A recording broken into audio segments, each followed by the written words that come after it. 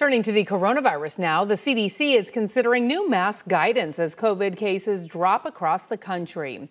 The CDC says hospital capacity remains a top priority amid considerations for when to roll back restrictions.